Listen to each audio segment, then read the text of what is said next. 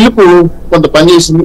అది నేను కూటమికి బాగా విజయానికి కూడా తోడ్పడతా ఇవంతా వన్ పర్సెంట్ ట్రాన్స్ఫర్ అయినా కూడా విజయానికి అదే మూల కారణం అవుతాం.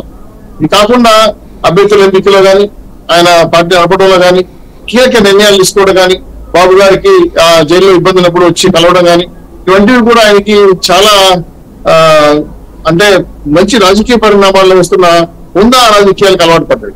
సో అటువంటి పరిస్థితుల్లో ఇటు బీజేపీ వాళ్ళు ఇట్లా జనసేన మిత్రులు టీడీపీని కలపడంలో ఆయన నిజంగానే కీ రోల్ పోషించారని మనం చెప్పాలి. ఈ దృష్ట్యా భవిష్యత్తులో ఇరవై తొమ్మిది ముప్పై నాలుగు నాకు తెలియదు కానీ భవిష్యత్తులో అయితే పవన్ కళ్యాణ్ గారు ఆంధ్ర రాష్ట్రానికి గొప్ప నాయకుడు ఎదిగే అవకాశం ఉంది. రాజకీయ నిర్ణయాల్లో కానీ ఇలాంటి పొత్తుల విషయంలో కానీ ఎత్తుగడల విషయంలో కానీ చాలా చక్కగా ఇప్పుడు పరిపక్వ దిశగా ఆలోచిస్తున్నారు. దానికి ఆయనకు వచ్చిన అనుభవం రాజకీయ విజ్ఞత చదువు అవన్నీ కూడా కలిసి వచ్చాయి. అలాగే జనసేన ఉన్న మిత్రుల యొక్క సంఘీభావం వాళ్ళ యొక్క ఆ, కలగొలుపుతనం కూడా పెరిగింది.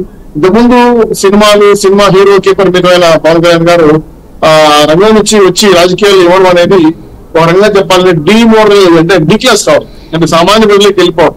అది కొంత హీరోలు పైన ఉండే వాళ్ళు కలవలేదు. కానీ పవన్ కళ్యాణ్ గారు ఆ ఆదర్శంగా వెళ్ళిపోవడం వాళ్ళతో కూర్చోవడం వాళ్ళతో భోజనం చేయటం వాళ్ళతో కూర్చొని మాట్లాడడం చూస్తే చాలా ఆయన స్థాయిని ప్రజల్లోకి తీసుకెళ్ళిపోతున్నాడు సో దీనివల్ల మమేకమైన ప్రజానాయకుడిని ప్రజలు ఆదర్శిస్తారు.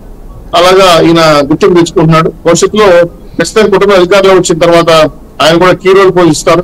కేంద్ర రాష్ట్ర ప్రభుత్వాల మధ్య సంబంధాలు కానీ రాష్ట్ర అభివృద్ధి విషయాలు కానీ ఇండస్ట్రీస్ కానీ ఏదైతే కుటుంబ హామీలు ఇచ్చిందో అన్నింటికి కూడా పూర్తి స్థాయిలో ఏ విధంగా ముందుకు తీసుకెళ్ళడం పైన ఆయన ఆలోచన విధానం చాలా చక్కగా వివరిస్తున్నారు చెప్తున్నారు ఇది బీజేపీ జనసేన తెలుగుదేశం పార్టీ చేస్తున్న ఊహాత్మకంగా చేస్తున్న కమిటీలో మార్పుల్లో భాగంగా రాబోయే రోజుల్లో మరింత నాయకత్వ లక్ష్యాలు పెరిగి మీరు పెట్టిన ఈ అంశాన్ని భవిష్యత్తులో ఆయన వర్గం కావచ్చు ఆయన పార్టీ కావచ్చు లేదా ఆయన అభిమానించే అభిమానులు మరింత బలపడి ఆదర్శవంతమైన పరిపాలన ఈ రోజు అసెంబ్లీకి రాలేదు కౌన్సిల్ గెలవలేదు ఇంకోటి చాలా విమర్శలు ఎదుర్కొన్నాడు.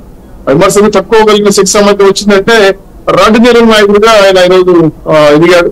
అది ఎదిగి కూడా రేపు ఆ అసెంబ్లీలో అడుగుపెట్టి సమాధానం చెప్పే పరిస్థితి వస్తా ఉంది ఒక పక్క నందమూరి సింహం ఇంకో పక్క కొణిదల సింహం ఇంకో పక్క నారావారి సింహం రేపు ఆ శాసనసభలో అడుగు పెడితే ఆ శాసనసభ ఎలా ఉంటుందో ఊహించుకునేదానికి కూడా వైఎస్ఆర్ వాళ్ళకి ఎన్నో రకాలుగా ఆలోచనలు మారిపోతాయి. కాబట్టి నాకు తెలిసి ప్రతిపక్షాలు వచ్చిన తర్వాత ప్రతిపక్షంలో ఉంటారా? మళ్ళీ ఆయన పాలయాలు తెగిస్తారా మాకు తెలియదు కానీ పవన్ కళ్యాణ్ గారు మాత్రం రాష్ట్ర రాజకీయాలపైన రాష్ట్ర సమస్యలపైన ఆయన వారాహి యాత్ర తిరిగిన తర్వాత ఆయన కొంత ప్రజల్లో మనం చూస్తున్నటువంటి ప్రశ్నలకు సమాధానాల పైన ఒక అవగాహన ఉంది. రేపు శాసనసభలో కూడా మంచి ఆలోచనలతో ప్రశ్నలు వేయడం కానీ ఆ, పరిపాలన నిర్వహణలో తన వంతు